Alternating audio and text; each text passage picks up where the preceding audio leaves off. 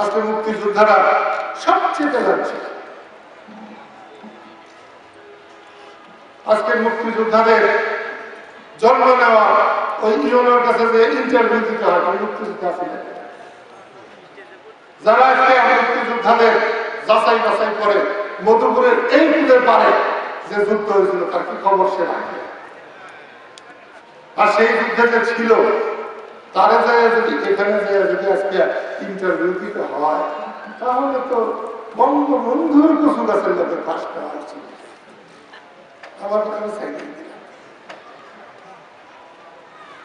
আমি যদি খেতাম না পাইতাম আমার যদি নাম না থাকতো তাহলে আমারও তো যাও, যে ইন্টারভিউ না একটা মুক্তিযোদ্ধাদের একটা সম্মান ছিল যাচাই বাছাই করে করে সেই মুক্তিযোদ্ধাদের করে।